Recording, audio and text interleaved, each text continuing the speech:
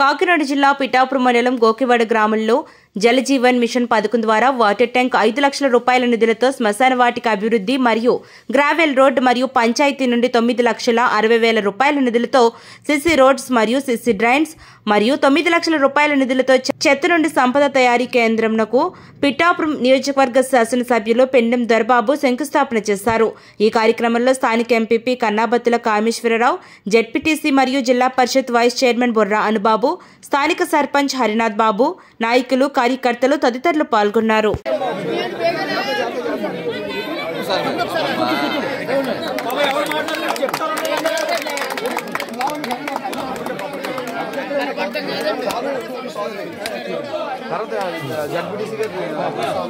మూడు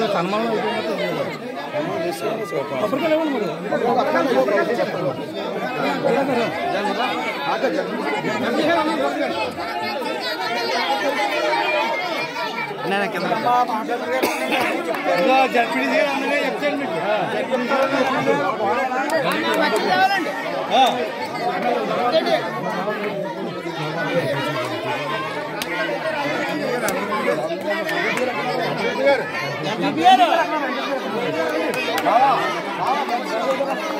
పిఠాపురం నియోజకవర్గం పిఠాపురం మండలం గోకువాడ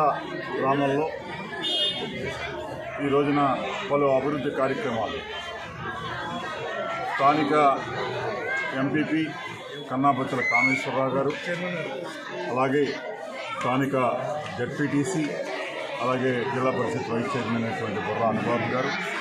స్థానిక సర్పంచ్ హర్నాథ్ బాబు గారు ఈ గ్రామ పెద్దలు మన బుజ్జి గారు అలాగే మహేశ్వరరావు గారు వీరన్న గారు ఇంకా ఇతర పెద్దలు సొమ్ము చిన్నబాబు గారు వెంకట్రావు గారు అందరూ కూడా. ఈ గ్రామంలో పలు అభివృద్ధి కార్యక్రమాలను వివిధ గ్రామాల సర్పంచులు శంకర్రావు గారు వెంకటి బాబు గారు అందరూ కూడా ఈ రోజున ఈ గ్రామంలో అభివృద్ధి కార్యక్రమాల్లో భాగంగా ఇక్కడ శంకుస్థాపన కార్యక్రమం. అరవై లక్షల రూపాయలు వెచ్చించి ఇక్కడే తాగునీరు కోసం ప్రతి ఇంటికి కుళాయి ఇవ్వాలనే సంకల్పంతో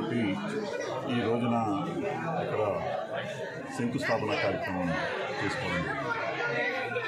ప్రీత ముఖ్యమంత్రి జగన్మోహన్ రెడ్డి గారు ప్రతి ఇంటికి కుళాయి ఇవ్వాలి అనే సంకల్పంతో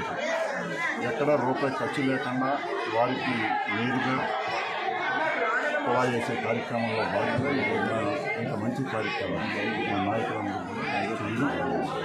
అక్కడ ఒక ముగ్గురు వ్యక్తులు తెలుగుదేశం నాయకులు. అక్కడ ఇది వద్దు అనే కాడికి మాట్లాడుతున్న సందర్భం ఏదైనా సరే ఆ గ్రామంలో ప్రజలు కోరుకున్నది ప్రజల అవసరార్థాన్ని గుర్తించేది చేయడానికి ఈ ప్రభుత్వం ముందుంటుంది. అందులో భాగంగా ఈ రోజున ప్రజలు ఏదైతే కోరుకుంటున్నారో ఆ రకంగా ఈ రోజు శంకుస్థాపన కార్యక్రమం మరొక డ్రైనేజ్ దాదాపు ఆరు లక్షల వేలతోటి శంకుస్థాపన కార్యక్రమం మరొక ఐదు లక్షల మరొక వాటిక. అలాగే మరొక సీసీ సీసీ రోడ్లు మూడు లక్షల అరవై వేల రూపాయలతో ఈరోజు శంకుస్థాపన కార్యక్రమం చేసేసాము ఈ రోజున ఇన్ని మంచి కార్యక్రమాలు ఈ ప్రభుత్వం ప్రీత ముఖ్యమంత్రి జగన్మోహన్ రెడ్డి గారు ప్రతి వీళ్ళని కూడా అభివృద్ధి అలాగే సంక్షేమం రెండు రెండు కళతో భాగంగా చేస్తున్న విధానానికి ప్రతి గ్రామంలో కూడా ఒక ప్రతి ఒక్కరి అవసరాలను గుర్తించి ఈ రోజున రెండు రెండు కళ్ళగా చేస్తున్న విధానం నిజంగా అభినందనీయం